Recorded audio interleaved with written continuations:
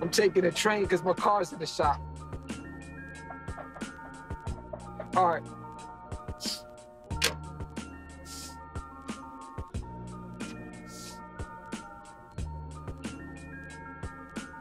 Yo, you all right, man?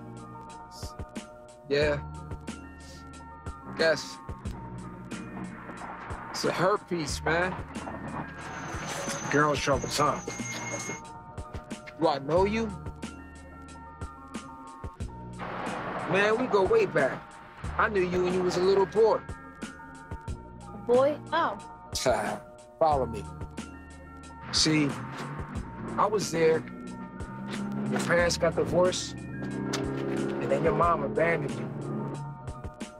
My mom was sick. It wasn't her fault. You believe that? Your mom didn't want you. Your mom and your dad, they never loved you. I've always been there for you. See, I was there for you when you was a teenager.